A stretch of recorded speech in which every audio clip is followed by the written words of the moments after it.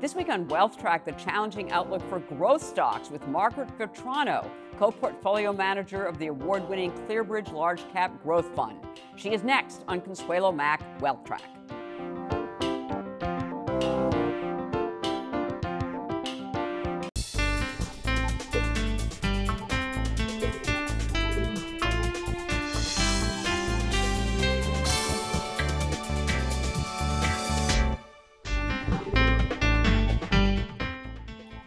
Welcome to this edition of Wealth Track. I'm Consuelo Mack. The economy and markets are facing multiple headwinds. According to Strategas Research Partners, we're now in the longest and slowest U.S. expansion ever, more than 120 months duration and still going from the economy's 2009 trough. But the cumulative real growth of the economy, that's excluding inflation, is far below other post World War II recoveries. That growth is now being challenged by trade tensions, particularly with China, political uncertainty here with the impeachment inquiry in next year's election, plus overseas with Brexit, Europe and China's slowdown, Hong Kong's unrest, the alleged Iranian attack on Saudi Arabia's oil fields, and North Korea's missile firing, just to name a few. Are these enough to derail the U.S. economy and the record breaking bull market in large cap stocks? In a slow growth world, growth commands a premium. As we have covered extensively on past wealth tracks, growth stocks, particularly the largest U.S. ones known as megacaps, have dominated market revenue and earnings performance over the last decade, with a few short lived challenges from value stocks in between. Will they continue to do so? This week's guest is a newcomer to Wealth Track, but not to the investment business. She is Margaret Vitrano, co portfolio manager of the high performing ClearBridge Large Cap Growth Fund since 2012. The $14.7 billion fund has earned a bronze medalist analyst rating from Morningstar for its well balanced growth portfolio, which has beaten the vast majority of its large cap peers over the years. The fund was also one of Investor Business Daily's Best Mutual Funds Award winners in 2018 for topping the S&P 500 over the prior three, five, and 10 year periods. Vitrano and her co portfolio manager, Peter Bourbeau, also oversee ClearBridge's all cap growth strategies along with large cap growth, adding up to nearly $50 billion under management. ClearBridge is a relatively new Wealth Track sponsor, but I've been following the firm's funds for decades. Vitrano is here because of her reputation and performance. I began the interview by asking Vitrano for her view on the health of the U.S. economy. Well, from, from our vantage point, it's not clear yet whether this is a soft patch or the beginning of something worse. I think that clearly the risks in the market are rising. Mm-hmm. Um, we, we've looked back at the, the mid cycle slowdown we had in 2015, and I think there are some good learnings from that. If you look back at that period, um, there were there were two large drawdowns in the equity market during that period. So I think the lesson from that is don't be surprised if volatility continues to be high right. today. Um, and the second learning is that we emerged from that mid cycle slowdown in 2016, 2017, in large part because of accommodative policy on the part of the Fed and China. So if you ask me what I'm looking for now to decide whether this is the soft patch or the something worse, I would say keep an eye on what the Fed does mm-hmm. uh, in, in the upcoming meetings. Look and see at the impact of the, the cuts the Fed has taken. Right. Um, we're seeing some early signs of, of a beneficiary in the housing market so far, so keep your eye on that. Mm-hmm. Um, we need consumer confidence to stay healthy because that's obviously keeping the economy healthy right now. So we need that to stay at a high point. And keep your eye on China. They have implemented more than 100 easy moves, right? Over the last, I know it's incredible. Yeah, over the yeah. last 12 to 18 months. So, and are, are we seeing signs of that kicking in yet? It's usually a, a lag, but it's, it's yeah, it, right. it, can take a year. A few signs, but we we need China to improve because we need that for commodity prices. We need that for the industrial part of our economy. So, keep your eye on China. I think that's relevant too.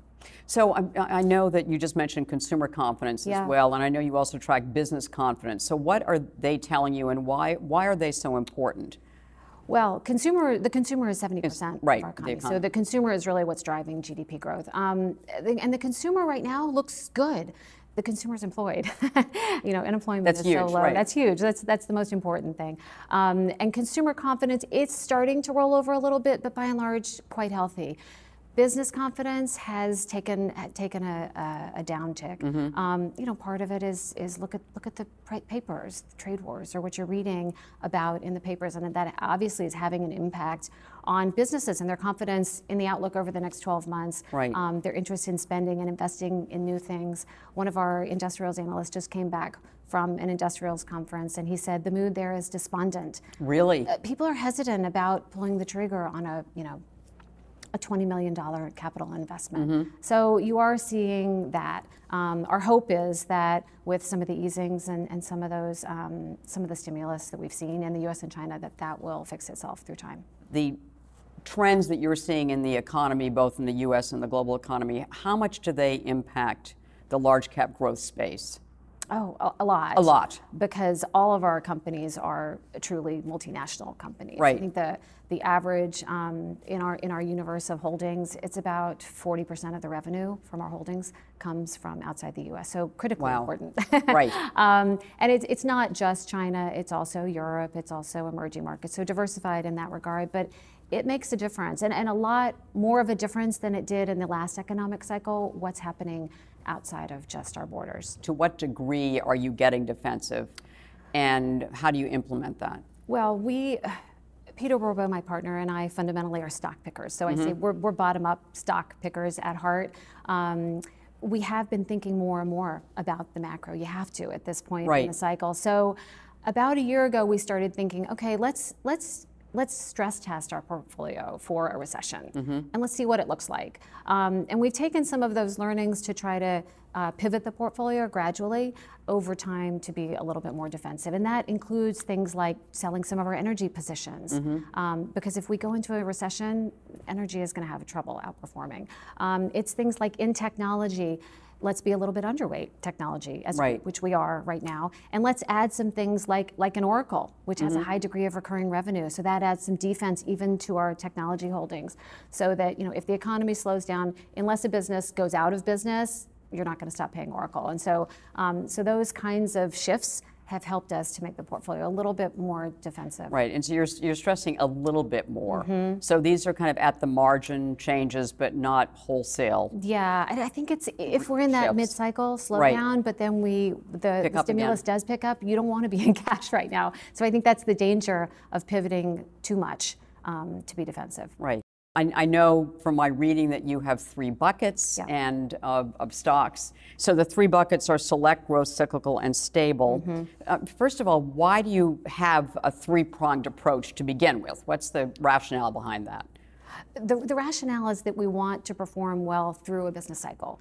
And a business cycle, of course, can have different different periods when momentum really performs well, or when value right. really performs well, or maybe technology is a leader in the market, and then, then maybe industrials are the leader in the market. We only have 40 to 50 names, so we're concentrated, mm-hmm. but we want to have lots of different levers within that 40 to 50 so that we can perform well during during different kinds of markets we really do focus most on the, the bottom up stock selection, trying to find really good businesses. But that framework of the, of the buckets, right. um, it helps us think about it's not just a question of do you like Disney and do you want to own Disney, but how is it working with everything else that you own? Do you have too much media? Do you have too much exposure to emerging markets? Do you have, um, you know, too many companies that could be at risk if we use the internet less? All of those are things that it helps us think through those relationships and make sure that we don't have too much risk in the portfolio. It's really all about risk. And, and how has that kind of diversification among these three different types of stocks worked uh, in, in, in basically decreasing the risk and maybe the volatility of the portfolio? Well, the if you think about the three buckets, the, the stable bucket right. is, is the biggest bucket. It's the core of the portfolio. 50 to 65% of the portfolio, and those are good growth at a reasonable price kinds of companies, you know, Comcast, United Healthcare, Walt Disney, all really good companies. That whole group tends to do just a little bit better than the market in a low growth environment. So mm-hmm. we'll gain a little bit of ground versus versus indices in that kind of market. And in a down market. In a down market it performs better because yeah. they're really good quality companies that are holding or gaining market share. They tend to have really good balance sheets, so we, it protects us on the downside. They do a little bit better. Right. So that's the markets. core. How much do you shift the, the from the core uh, if, if you're in a you know kind of a roaring bull market, do you basically d- diminish, you know, reduce the positions in the core and go more to select growth, which I'll go to next, which is kind of the stars, the alphabets, and the We've kept the the, Googles the weightings Facebooks. pretty stable over You time. have? They've they've stayed Huh. pretty stable. Now, if you asked what's what's the bottleneck in the portfolio, given the move in tech over the last several years and the performance of tech, and bottleneck, how so? What's what's the limit? Oh, we, I we always say we'll be between 50 and 65 percent and stable, and we've always stayed within that zone. Um, the select bucket, which is the higher growth, Right. higher momentum bucket, we limit that to no more than a third of the portfolio.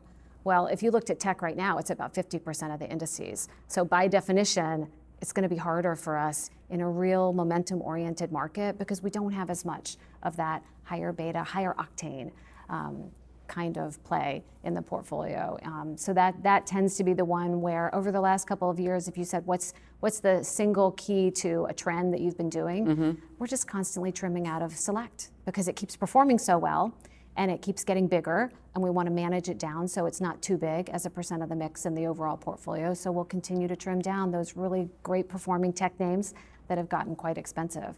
And that's one way we de-risk. Doesn't it kill you to have to sell these winners?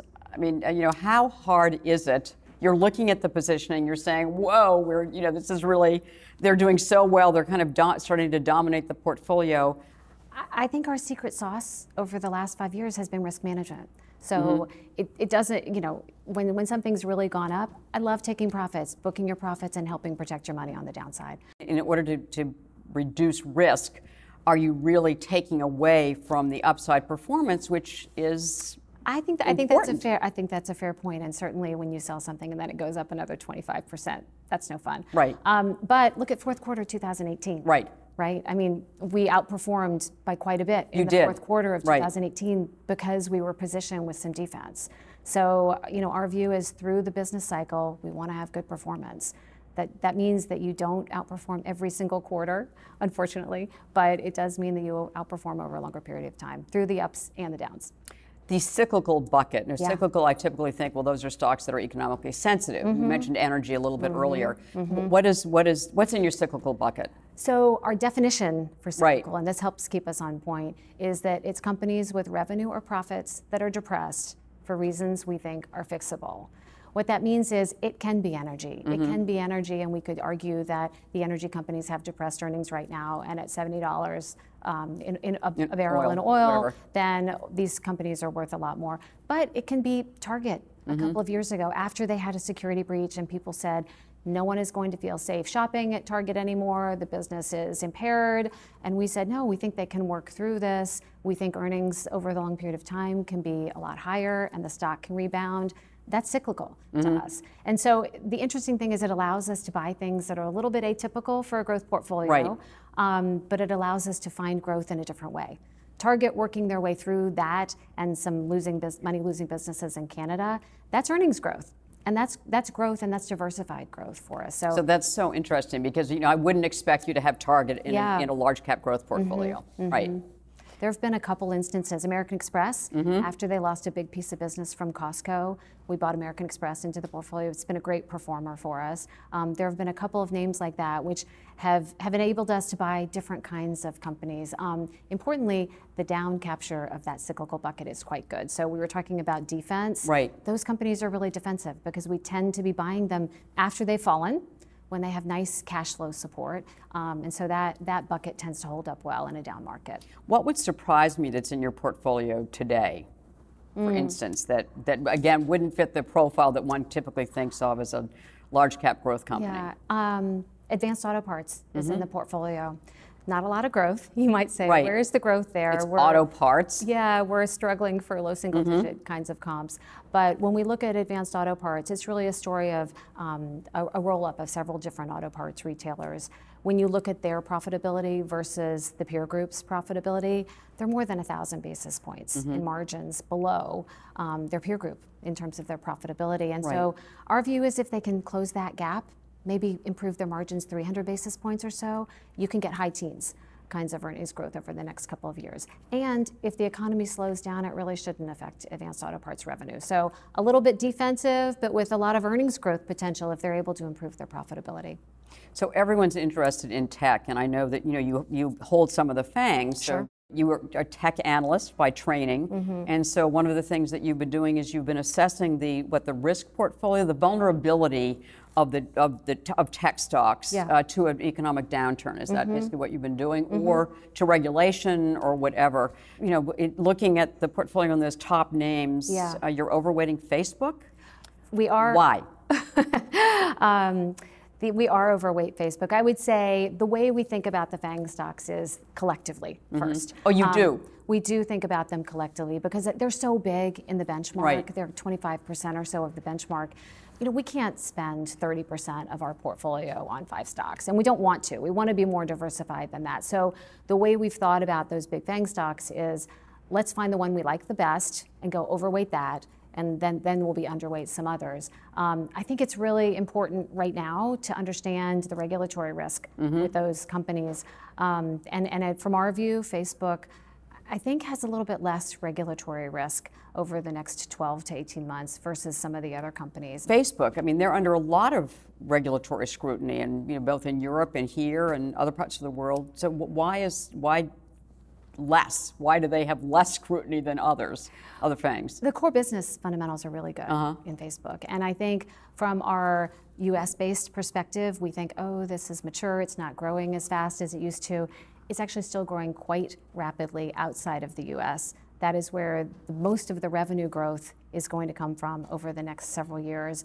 And GDPR has already been implemented. So, um, so we've already worked our way through that potential headwind. Um, I think the company has taken a lot of steps to improve the to improve customer privacy, to have better oversight of their um, of their content. They're working their way through it. They're not done, but I think the core business fundamentals are, are quite good. Other FANGs in the portfolio. Amazon. What's your view of Amazon? We like Amazon. We think they have a, a great first mover advan- advantage in their marketplace business, and that's has legs for the next several years. And their Amazon Web Services, the outsourced data center Right. business, is highly profitable and has a lot of growth runway ahead. So, um, so we still feel really good about Amazon as a core holding. One of your, your co-portfolio manager was a healthcare analyst at one point. So, you know, how, where does healthcare fit in as far as growth? I mean, you talk about problematical Mm-hmm, industries, and certainly no idea what's going to happen with the 2020 presidential election. That's right. So, how does healthcare figure into a growth portfolio? I tell you, if there's one thing we learned after 2016, it's that sometimes perceived risk can be every bit as important as actual risk. Right. And what I mean by that is when the presidential candidates started talking about drug pricing as a topic in 2016, we sat down with our healthcare analysts and we said, is this a real risk? We, we thought we had the risk understood in terms of how, how the probability of it being implemented widespread healthcare reform has not been implemented in the US over the last several years, and yet the biotech companies has, have underperformed massively. Right. Um, and so the, the point with that is, I still think that healthcare is, um, is, is a key topic on both sides of the aisle. I still think that it's something that is going to have a headwind for at least at least until we know who our next president is, um, and then we'll see. So we've trimmed some of our biotech holdings. Um, we we were at one point overweight biotech, and now we're a little bit underweight. Biotech. And of course, they were great performers They for, were uh, great until they weren't. Yes, they right. were great performers. I think now it's really hard to tell what the catalyst is going to be that's going to help those companies outperform. Give us an example of, of what in your core portfolio, what company kind of exemplifies what you put in your core stable portfolio or bucket? Disney.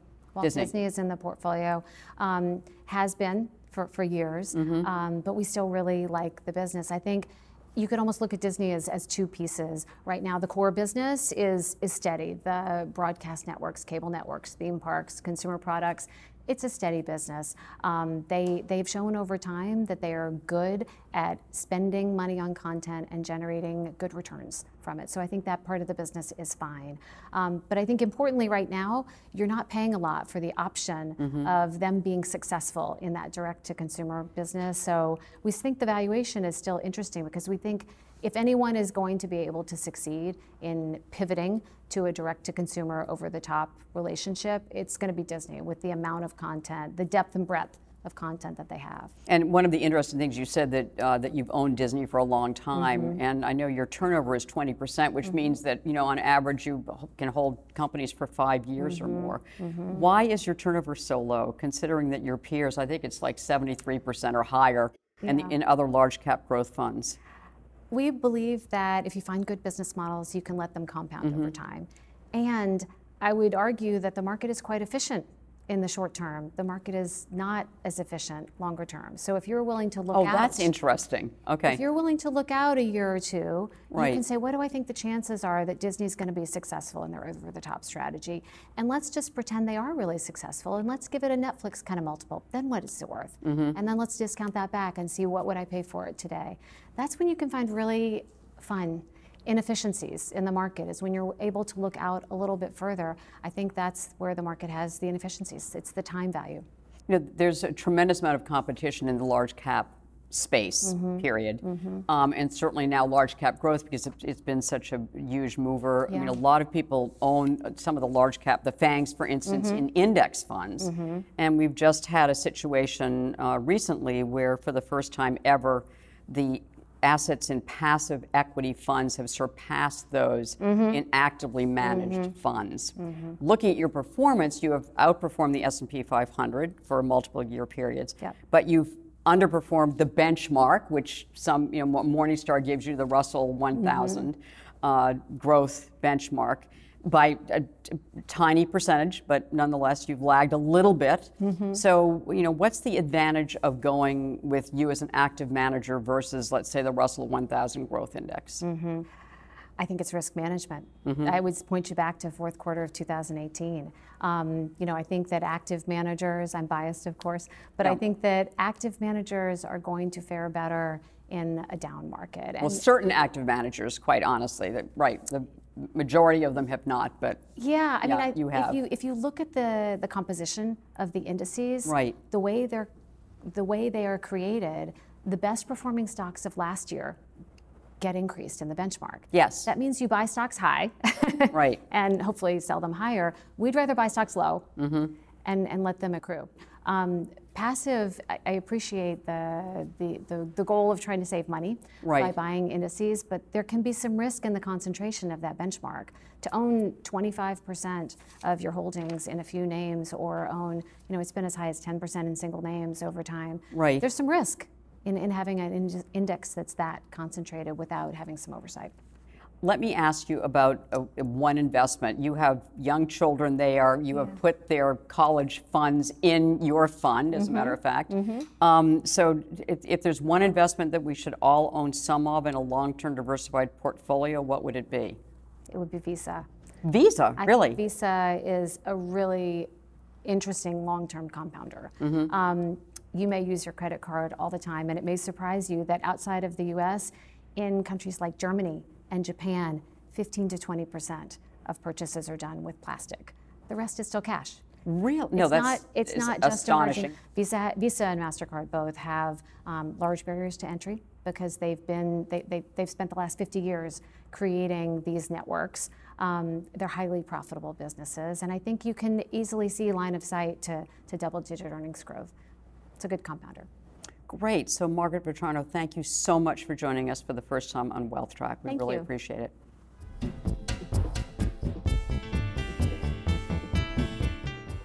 At the close of every Wealth Track, we try to give you one suggestion to help you build and protect your wealth over the long term. This week's action point is own some dividend growth companies. We just discussed companies with sales and earnings growth, but the appeal of increasing dividend payments is strong as well. Companies with histories of increasing dividends over the years are usually financially healthy, more defensive in nature, and can provide reliable income and compounding power if the dividends are reinvested. One of our most popular guests over the years has been Hersh Cohen, a colleague of Vitrano's who helps oversee ClearBridge's dividend strategies. Once again, he has shared his list of dividend compounders, companies with great balance sheets and a history of growing dividends. We will have it on our website. In addition, Vanguard recently reopened its actively managed Vanguard Dividend Growth Fund to new investors. A longtime Morningstar favorite, rated five star gold, it has had the same manager since 2006 and has beaten the market with lower volatility over the years. Now, for investors who prefer passive alternatives, Vanguard also has the gold rated Vanguard Dividend Appreciation ETF, symbol VIG. Now, interestingly, the actively managed fund has outperformed the ETF because it's been able to take advantage of situations the index fund could not. Dividends are always attractive, but they are especially welcome in times like now when income is scarce and markets are volatile. Next week, our focus is on China. First Eagles, Idanna Appio and Matthews Asia Tiffany Hsiao address the opportunities and risks of investing there. In this week's extra feature on WealthTrack.com, Margaret Vitrano discusses her mentoring program to recruit more women into the investment business. In the meantime, we want to continue to recruit you to connect with us on Facebook, Twitter, and our YouTube channel. Thank you for watching. Enjoy your Columbus Day holiday and make the week ahead a profitable and a productive one.